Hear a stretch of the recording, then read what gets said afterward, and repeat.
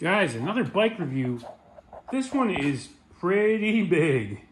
Uh, can't tell by the box. It's about, I would say, 25% bigger than a normal e-bike, or maybe even almost twice as big as a normal e-bike box that we get. So uh, as you can see by the label, How HAOQI, don't know how to say it, not gonna try anymore. Here it is. So let's get it out of the box. Let's see what it's all about. looks kind of like a motorcycle according to the picture. All-terrain, electric fat tire bike. I don't know about all-terrain. I do like that motorcycle look though. So let's get it out, see what it looks like for real.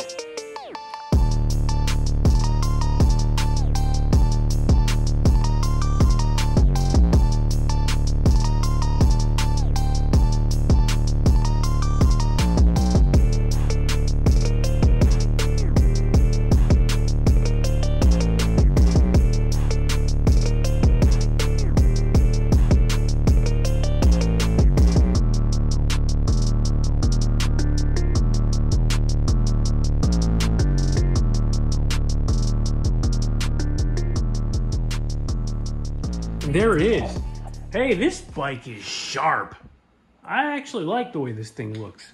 It's all dark. It's got a nice motorcycle seat, motorcycle headlight, hydraulic disc brakes. I like that. And the battery sits right here where your gas tank would be. That's kind of appropriate. As you can see, 48 volts, 27 amp hour, pretty big battery.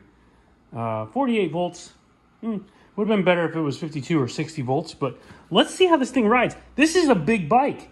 Now, it is definitely uh, shorter rider friendly, I'd say. Even though it's a it's a big bike, it feels motorcycly. It does not feel like a bicycle. I could see this this being a great contender for a ultralight motorcycle conversion, maybe like you guys maybe have seen that I've done before with like the Ariel Rider and that type of stuff. So so far, I'm really impressed. I like the looks. I love this storage bin down here. You could put another battery there. You could put a bunch of stuff in there. That's cool. That's an extra. The frame overall looks really nice. It is a hardtail. It does not have rear suspension. That's eh, okay. I would not be going off-road with this thing, to be honest with you. Doesn't strike me as an off-road capable bike off, off rip. But that's what they claim either way, we're going to ride it on the road. We're going to see what it's like. Uh, definitely cafe racer possibilities on this one. So stay tuned. I'm going to do some stuff with this. This should be a fun bike. I'm excited. So either way, let's get it charged up and uh, let's see. This turns on. Yeah, so that turns on. Okay, no problem. And uh, typically this, oh, that's, uh, we'll have to read through the manual see what all the features do on it. But either way, she's ready to go. Let's charge it up and take it for a ride. Can't do it today. It's going to be in this same video, but today it's been pouring and raining. So stay tuned. We'll charge it now, take it for a spin. All right, so here we are with the HAOQI bike. Really cool looking. We've got it out in the sun so you can see everything here a very motorcycle-esque looking package. I like that. I dig that. I think that's a really fun uh, setup. I have a couple of other bikes like that. I, I've actually configured them to be completely electric motorcycles instead of having pedals and crank. And I love it. I love riding them around. This is a great, great uh, transportation alternative if you don't need a car or if you're in a place where you can't have a car. Awesome real heavy duty frame you can see. It's all tubular all welded really strong. Uh, batteries mounted up here i like that. Motorcycle seat i like that as well. Could be a little softer it's a pretty tough seat but you could always get that reupholstered. Full size fork as you can see goes all the way up to the neck. And uh, handlebars to suit. Handlebars are laid out a little forward. You could get a different riser or different uh, neck here if you want something a little bit further back and get an adjustable one, you can configure this for yourself. Short rider friendly, definitely. I'm six foot, 175 pounds, but you don't have to be. This, this bike is definitely short rider friendly. I can I can say confidently if you're five foot, you can still flat foot this bike. So really, really good all around fit for most people. Um, not that heavy. It's not a very heavy bike either for, for what you're getting. It's like a motorcycle basically, but still way under 100 pounds. I like it. So um, anyway, we're gonna take it for a spin now.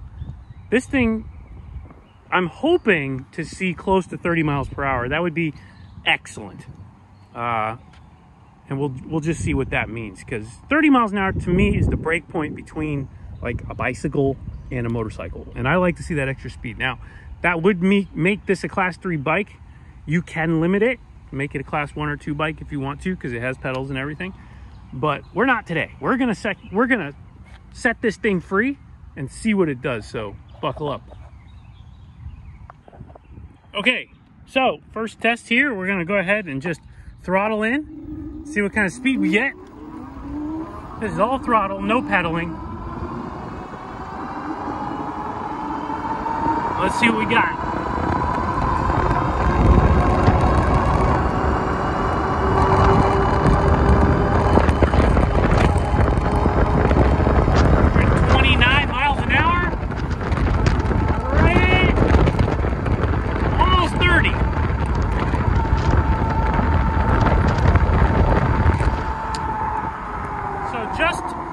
Just touching 30 miles an hour according to the dash. We'll go back the other way, verify that. But I think that's about right. Let's see. Here we go the other way.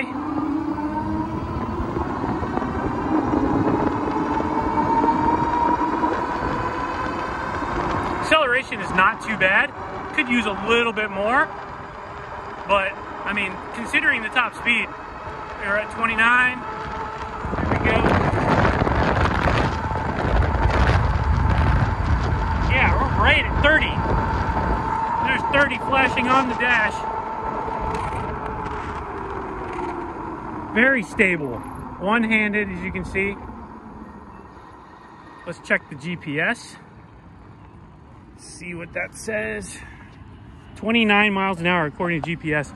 So that's pretty good. 29, 30 on the dash. So we're right at 30 miles an hour. That hits our number one goal, I would say, for this bike. So this is a 30 mile an hour bike. I'm gonna confidently say, if you uh, jack the speed all the way up and if you've got a little bit of wind to your uh, to your back, let's see what the freewheel speed says.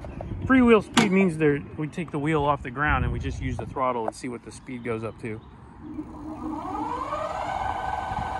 Look at that, 35, 34, almost 35 miles an hour freewheel. So if you've got wind to your back, this thing's going over 30, no problem. No problem. We actually, we actually have a crosswind today. So you could see both directions we were still hitting that 30 mile an hour mark, the 29 to 30 mile an hour mark. So with the wind, definitely gonna be over 30. That's impressive. I like this bike. I'm liking it more and more. I'm gonna take it for some more rides just to, to enjoy it a little bit further. But wow, overall, pretty cool. They market it as an off-road bike. I don't know. Let's take it off there real quick and just see what it feels like. Not really. I'm thinking not so much off-road, honestly. That's not the strong point of this bike. But we'll do it anyway. Let's see what we got. I mean, it's not bad, but you can definitely tell it's a hardtail we're not uh, we're not absorbing much in the back. In the front, it's not that bad, but in the back, basically. So uh, I would say don't don't expect to take this thing off road. Not not not the best off road bike. Oh my god, definitely not with one hand either. okay, back on the road. On road, definitely though, super smooth, very, uh, very easy to ride. If you're a novice rider, you've never rode a motorcycle before, this is a great way to get into it.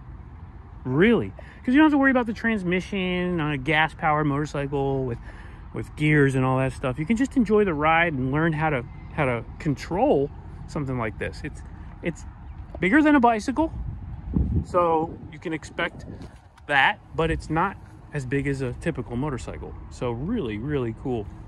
Overall, two thumbs up. I love this bike. I'm gonna do some stuff to it. Now that we've got this kind of initial review out of the way, I have some plans. I wanna make this thing cafe racer. I'm gonna, I'm gonna, I'm gonna do some stuff. Maybe, maybe take the pedal and cranks off, flip the bar, get a nice uh, swept bar for it that sits kind of low because I love this stance and I think this thing would look killer done up cafe racer style. So stay tuned for that. But in the meantime, I'll go ahead and uh, do some more research and just see what, what else I can figure out about it. Overall, great bike. I love these brakes. They feel really good. They're nice and strong. Um, we'll ride it at night, see how the headlight is. I love the, the, the look overall, the scrambler look, we'll call it. I might put some street tires on it since I really don't want to take this thing off road. It'll reduce the road noise and maybe even pick up a, a mile per hour or two. I have some, some nice street street tires we can throw on it. But uh, anyway, check out the link below. Get yourself one of these if you're into it. I'm into it. I think it's a killer bike. And uh, I'm not sure how long these are going to be available, but as of right now, they are still available. So go check it out. Check out HAOQI. I'll put the link in the description. And stay tuned for what we got next. I will see you guys in the next one.